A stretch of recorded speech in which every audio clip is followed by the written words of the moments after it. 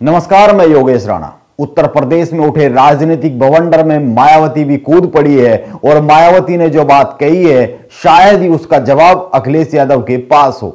मायावती की बात पर आने से पहले एक सवाल ज़रूरी है। यह सवाल इसलिए ज़रूरी है क्योंकि यह सवाल मायावती की बात से ही जुड़ा हुआ है।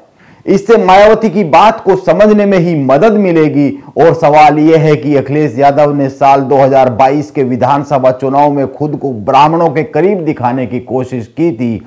भगवान परशुराम की मूर्ति लगवाई थी। मूर्ति का अनावरण किया था। और अब अचानक से अखिलेश यादव दलित, पिछड़े और वंचित समाज की शरण में जा पहुँचे। अखिलेश यादव खुद को शुद्र बता रहे हैं और कह रहे हैं कि भाजपा के लोग हम सबको शुद्र मानते हैं। हम उनकी नज़र में शुद्ध से ज़्यादा कुछ भी नहीं है। यह अलग बात है कि आज एस सी एस टी और ओबीसी शब्द बोले जाते हैं। कोई किसी को शुद्ध ना कहता है, ना बोलता है। इसके बाद भी अखिलेश यादव ऐसा कह रहे हैं और उनके ऐसा कहने पर सपा के लोग कमाल का काम कर देते हैं। सपा के लोग सपा के दफ्तर के बाहर होर्डिंग लगा देते हैं, जिन पर लिख दिया जाता है कि गर्व से कहो, हम शुद्र हैं। अखिलेश यादव की इसी बात और राजनीति पर बसपा प्रमुख मायावती ने अखिलेश यादव को साल उन्नीस की एक घटना याद दिलाई है। मायावती ने ट्वीट कर कहा है सभा प्रमुख अखिलेश यादव द्वारा दलितों पिछड़ों की वकालत करने से पहले लखनऊ स्टेट गेस्ट हाउस में हुई 2 जून उन्नीस की घटना को याद कर अपने गिरहवा में झाँक कर देखना चाहिए। तब मुख्यमंत्री बनने जा रही एक दलित की बेटी पर सपा सरकार ने जानलेवा हमला करवाया था। मायावती ने और भी कई सारे सवाल अखिलेश यादव की मौजूदा राजनीति पर उठाए हैं। उत्तर प्रदेश की राजनीति में गेस्ट हाउस कांड को बुलाया नहीं जा सकता है। इसमें कोई दो राय नहीं है। यह ठीक है कि इस घटना को बुलाया नहीं जा सकता है, लेकिन एक सच यह भी है कि जनता की याददाश्त बहुत ही छोटी होती है, कमज़ोर होती है, क्योंकि उसको अपने लिए रोटी, कपड़ा और मकान का इंतज़ाम करना होता है। इसीलिए वो राजनीति द्वारा रचे रचे जा रहे कांड भूल जाती है और किसी नए कांड की व्यूह रचना में जाने अनजाने ही एक बार फिर से हिस्सा बनने के लिए चल पड़ती है। इसी कारण इस भुलाए जा चुके कांड को मायावती याद दिला रही है। जबकि इस कांड के बाद मायावती खुद सपा के साथ गठबंधन कर चुकी है। लेकिन अब मायावती ने गठबंधन को भुलाकर इस कांड को याद किया है।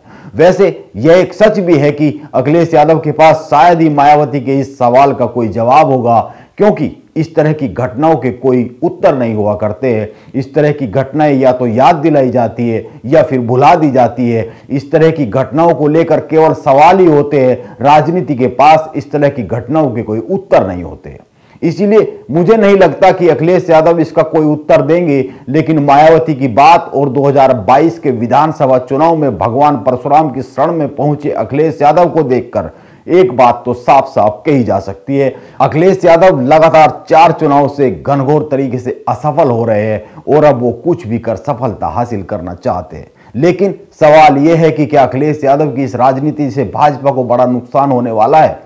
आप उत्तर प्रदेश के चुनावी समीकरण को कुछ इस तरह से समझ सकते हैं। 2007 में जब उत्तर प्रदेश में बसपा की सरकार बनी तो उस वक्त दलित वोट, मुसलमान वोट के साथ जाकर जुड़ गया और इसी तरीके से 2012 में सपा की जीत के पीछे भी यही समीकरण थे।